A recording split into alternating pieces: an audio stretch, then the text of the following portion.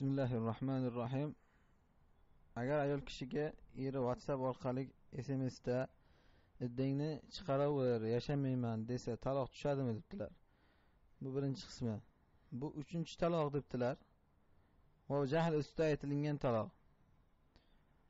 Shu taloqlar tushadimi? degan ekanlar. Birinchi masalaga qarasak xat orqali yo'llangan taloq tushadi. Chunki العبرة بالمقاصد لا بالصور ولا بالألفاظ والمباني fiq ilmida usul fiqda qoida bor bunaqangi muomalatlarda insonlar o'rtasida bo'lgan muomalalarda e'tiborni maqsadga qaratiladi bu narsalarni surati kayfiyatiga emas iddangni o'tiraver deyishlik taloq maqsadida aytilgan bo'lsa boshqa ma'noda aytilmaydi ham o'zi ya'ni kinoya talog'i deyiladi bu taloq deyiladi.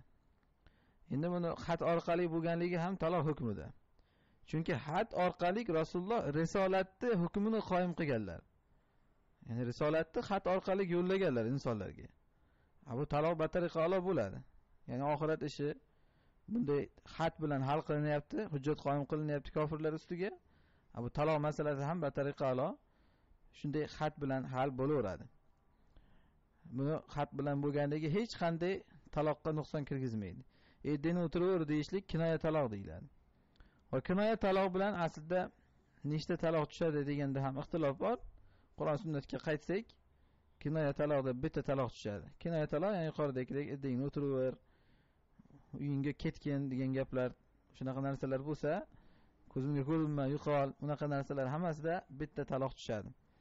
Agar undan oldin hali taloq qilmagan bo'lsa hech qanday bunda muammo yo'q xotinini qaytarib oladi yashaydi. Va xuddi shuningdek ikkinchi taloqni shu uslubda beradigan bo'lsa ham bu hozir ikkinchi talog'i bo'lsa bunda ham qaytarib oladi hech qanday muammo yo'q. Va endi agar muammo uchinchi taloq bo'lsa debdilar. Bu hozir uchinchi taloq ekan jahl ustida aytgan ekan. Oldin tushunib olish kerak har qanday taloq ham o'zi jahl ustida bo'ladi. Hech kim o'ynab kulib xotinini taloq qilib yubormaydi. Yaxshigina o'tirgan paytda. Ha taloq o'zi shu urush janjaldan kelishmovchilikdan kelib chiqib talog'ini beradi yoki unisi talog'ini so'raydi. Shuning uchun jahli ustida qilingan taloq tushadi bunda muammo yo'q. Ig'loq ustida qilingan taloq tushmaydi degan qavl bor fiqda so'z bor. Ig'loq degani inson jinni bo'lib qolgan. Shu g'azabdan jinni bo'lib qolgan hech narsani bilmaydi. Buni alomati shundaki haligi inson o'zini bosib olgandan keyin xotiningni taloq qilib qo'yding desa yo'q men taloq qilganim yo'q xotinim deb tursa. Ana shu holat aytiladiki ha bu iso qilib qolgan ekan u taloq degan paytida. Ana buni talog'i tushmaydi.